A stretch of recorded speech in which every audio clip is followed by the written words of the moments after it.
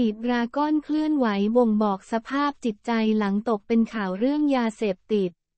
แฟนๆ ต่างชาติต่างพากัน support จีดราก้อนบนโซเชียลมีเดียโดยใช้แฮชแท็กเช่นเครื่องหมายสี่เหลี่ยม Stay Strong Dragon และเครื่องหมายสี่เหลี่ยม We Stand With G-Dragon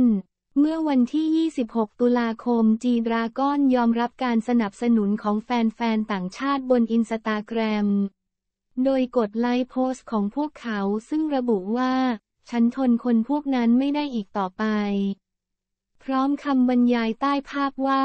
ฉันจะยืนเคียงข้างจีดราก้อนตลอดไป จีดราก้อนยังกดไลค์โพสต์ที่เขียนว่า Stay Strong จีดราก้อนเครื่องหมายสี่เหลี่ยม We Stand With G-Dragon ซึ่ง react ต่างๆของนักร้องดังบ่งบอกสภาพจิตใจได้อย่างดี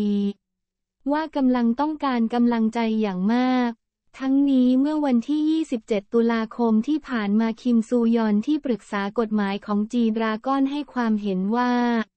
ผมสะท้อนจุดยืนของควอนจียง ชื่อจริงของจีดราก้อนเกี่ยวกับข่าวลือที่ไม่มีมูลความจริง ซึ่งเพิ่งเผยแพร่ทั้งในระดับประเทศและในสื่อ จีดราก้อนเผยผ่านทนายความของเขากล่าวว่า ผมชื่อควอนจียองประการแรกผมไม่ได้เสพยา